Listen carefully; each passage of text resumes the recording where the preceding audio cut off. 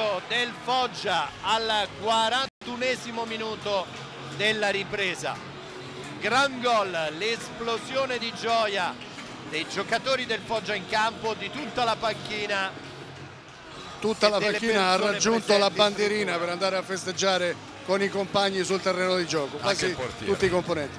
Che gol. Qua possiamo rivedere non solamente il tiro, la parte finale e la conclusione. Qua la respinta proprio da parte di Trest, ma ottimo il controllo del Rude l'intervento proprio da parte di Allevi, poi la incrocia di controbalzo, forte di collo sul secondo palo. Scintille sul terreno di gioco. Aspetta che la palla scenda al momento giusto. È arrivato il cartellino per eh, Fumagalli, cartellino giallo per il, per il portiere del Foggia.